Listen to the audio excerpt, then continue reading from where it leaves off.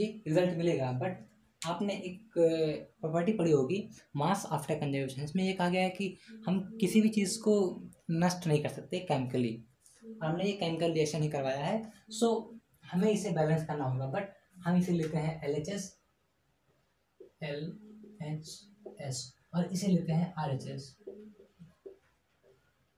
R H S sodium पहले से नाम लिख लेते हैं बैलेंस करने के लिए। हाइड्रोजन और ऑक्सीजन यहाँ पे एल एच एस और आर एच एस।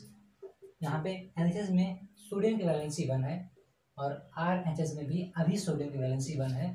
हाइड्रोजन की दो है और यहाँ पे हाइड्रोजन की तीन है। दो यहाँ पे और एक यहाँ पे। ऑक्सीजन की वन है और यहाँ भी ऑक्सीजन की वैलेंसी वन है। बट यहाँ पे आपका सोडियम और ऑक्सीजन तो बैलेंस है बट आपका हाइड्रोजन बैलेंस नहीं है।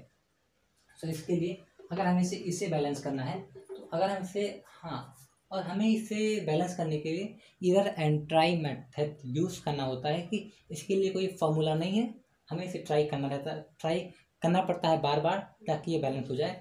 सो so, अगर हम यहाँ पे टू लगा देते हैं two two N H two तो हमें अगर यहाँ पे हमने टू लगाया है तो हमें कुछ ऐसा करना होगा इसलिए यहाँ के जो सिंबल्स है वो यहाँ के बराबर हो तो यहाँ पे देखिए हमने सोडियम की वैलेंसी अब दो हो गई है। यहाँ पे वन है। हमने यहाँ भी दो कर दिया। तो सोडियम भैया हमारा हो गया बैलेंस।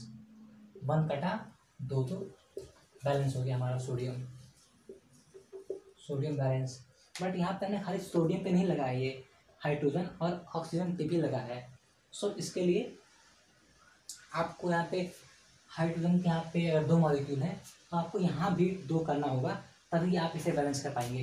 हमने यहाँ पे दो लगा दिया तो ये टू वन जेड टू और टू टू द फोर तो यहाँ पे टू टू द यहाँ पे, आपके एल एच एस में फोर हो गया टू कट के four L L H S में, क्योंकि two multiply by two equal to four अब आते हैं आर एच एस में तो यहाँ पे, अब यहाँ पे हाइड्रोजन की वैलेंसी दो हो गई है, और यहाँ पे हाइड्रोजन की वैलेंसी दो पहले से थी तो ये हो गया फोर और बात करें ऑक्सीजन की तो आपने यहाँ पे लिखा हुआ है टू एच टू यानी कि आपका यहाँ पे वन जो था ये कट के हो गया दो। और यहाँ पे भी ये जो टू है ये इस पूरे पे अप्लाई है इसलिए यहाँ पे जो ऑक्सीजन है उसकी भी दो हो गई। सो so, आज का जो हमारा ये एग्ज़ाम्पल था ये बैलेंस हो गया है। सॉरी जो इक्वेशन था ये बैलेंस हो गया है। सो so, हमने इस चैप्टर की पूरी होल वीडियो अपलोड कर दी है। अगर आप सकते हैं कि आपको पूरी वीडियो मिले तो ऊपर आई बटन पे इसके लिए हमने लिंक डाल दिया। आप वहाँ से उस वीडियो को देख सकते हैं। सो थैंक्स फॉर वॉच मिलते हैं अपने अगली उसी वीडियो में।